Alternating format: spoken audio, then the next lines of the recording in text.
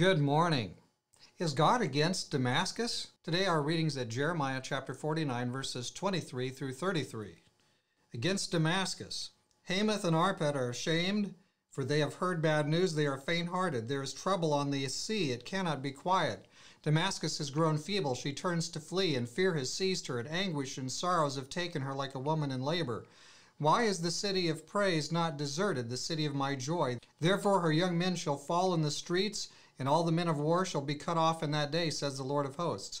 I will kindle a fire in the wall of Damascus, and it shall consume the palaces of Benhadad. Against Kedar and against the kingdoms of Hazor, which Nebuchadnezzar king of Babylon shall strike. Thus says the Lord Arise, go up to Kedar, and devastate the men of the east. Their tents and their flocks they shall take away. They shall take for themselves their curtains, all their vessels and their camels and they shall cry out to them. Fear is on every side. Flee, get far away, dwell in the depths, O inhabitants of Hazor, says the Lord. For Nebuchadnezzar, king of Babylon, has taken counsel against you and has conceived a plan against you. Arise, go up to the wealthy nation that dwells securely, says the Lord, which has neither gates nor bars, dwelling alone. Their camels shall be for booty, and the multitude of their cattle for plunder. I will scatter to all winds those in the farthest corners, and I will bring their calamity from all its sides, says the Lord. Hazor shall be a dwelling for jackals, a desolation forever. No one shall reside there, nor son of man dwell in it.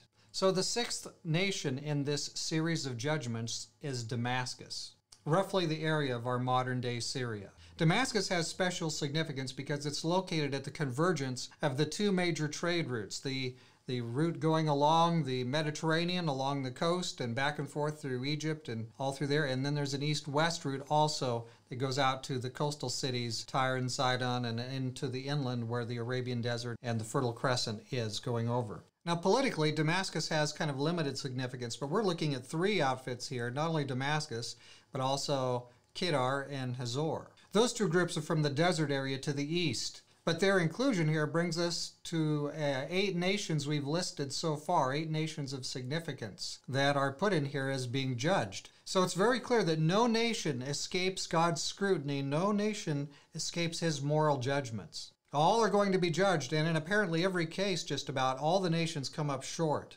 Why is it that human kingdoms tend to abandon things of spiritual significance and just become reduced to the material and the things of power and wealth? But that seems to be the way it is. We have a tendency to lower our vision from the higher to the lower, from the high principles to the lower principles of mere self service. It's not just people, but nations do that. Things seem to turn into the idea of self glorification, but you know what? Jeremiah never loses his way.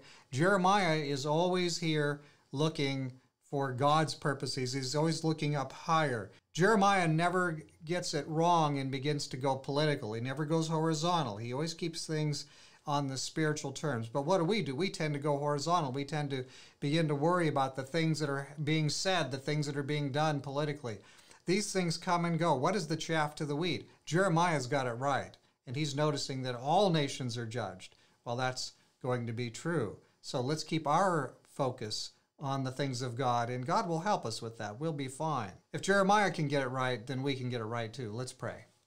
Dear Father in heaven, Human secular politics is to be expected. We understand it will be around us, but Lord, we don't want to be trapped by it. We don't want to be confused by it. So please help us, Lord, to keep our eye on the spiritual thing, keep our focus on the kingdom things.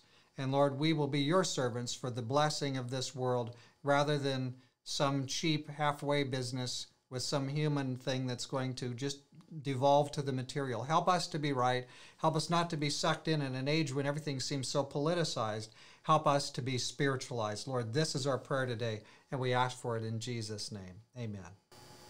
So if Jeremiah had it right, we can have it right too. Let's be right with God. Let's not be distracted. Keep our eye on the ball. You have a wonderful day serving the Lord Jesus, being in the world but not of it.